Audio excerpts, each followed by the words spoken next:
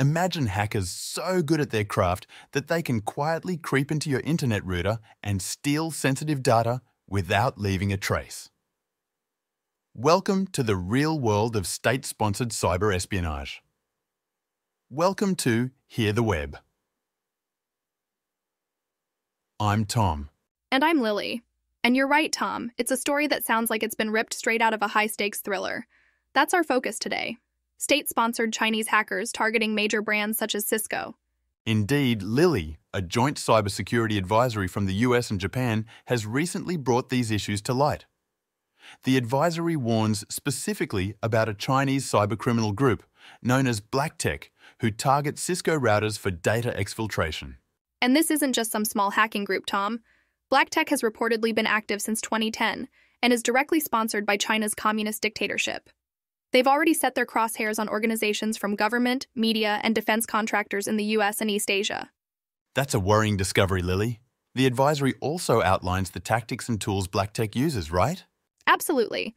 These cybercriminals specialize in developing custom malware. They've created a variety of unique programs, capable of disabling logging, compromising sensitive data, and even abusing trusted domain relationships. But let's get a bit technical here. Explain to our listeners how BlackTech gains access to the routers. Well, Tom, the advisory doesn't provide clear details about their initial access methods. But once BlackTech have this access, they abuse Cisco's command line interface to replace the router's official firmware with a compromised one.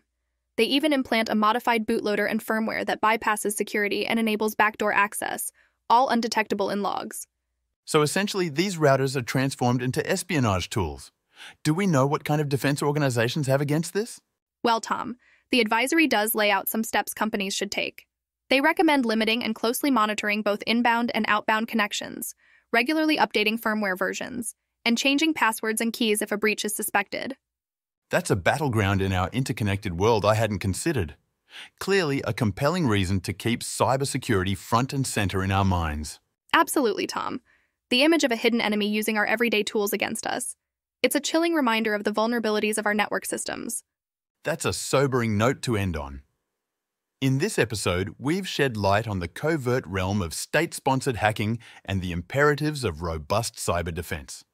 Remember, it's the unseen enemy that could be the most dangerous. Till next time, stay safe online. And stay connected with us. This is Hear the Web. Goodbye for now.